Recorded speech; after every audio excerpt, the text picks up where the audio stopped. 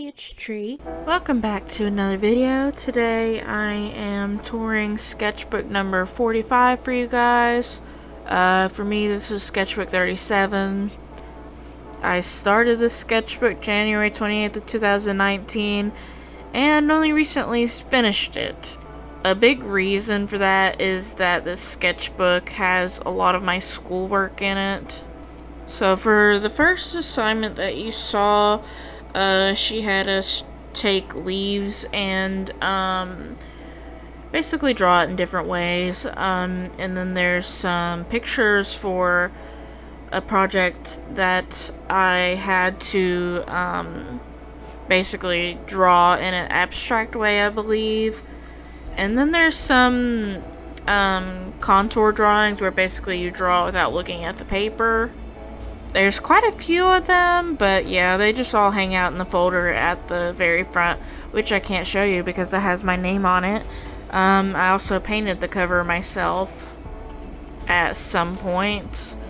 Um, and then I got into another project, which was taking um, some words and drawing a picture with it, and then she gave us some pictures um, that actually her grandfather took in World War II or postcard, something like that. Um, I thought it was neat, and I didn't mind the picture that I created. Um, and then these photos again are from that project I was talking about. Um, and I forgot my pens that day, so I could not um, start the project yet. So that's just how it was. I did finish this project. I do still have it. Um, I think I'll tour my college portfolio at some point. Just not right now. I don't feel like digging that out. Another thing was that we had to trace objects and create fantasy objects. Um, and then that picture with the blue color pencils, um, she has to take tracing papers and then um, just basically copy stains and things like that. That's all that it is. Um, and then this next project with the bunny and the dice and several other objects um, on tracing paper. Uh, that was for a mobile I made of like a children's um, magic birthday party type of thing. I had fun with it, and then uh, she had us cut paper and then glue it a certain way. So that's what that is.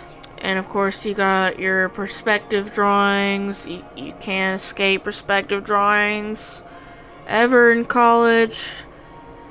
And then the next few is stuff from my color theory class. And when you're in color theory class, you have to make a bunch of color wheels. It's very tiring. Um, and then there's these pictures of my cat that I drew. You had to create several different versions uh, with different colors. Um, and I took a picture of my cat and then used that as a reference to create um, those pictures. Um, and then I used a picture of a cloud that I created. So she's like in a little cloud blanket. I think it's cute. I also threw in um, a random painting from a Zine that I did. Uh, just because I didn't like the page underneath. the next assignment is doing a color wheel and then having like a picture with the color wheel. I didn't like the first one, but I did like the next one of my cats. Just more more color wheels and junk. Um, that's just how it is.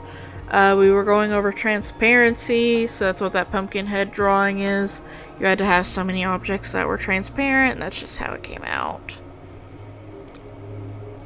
I definitely like to paste old pictures in the blank pages.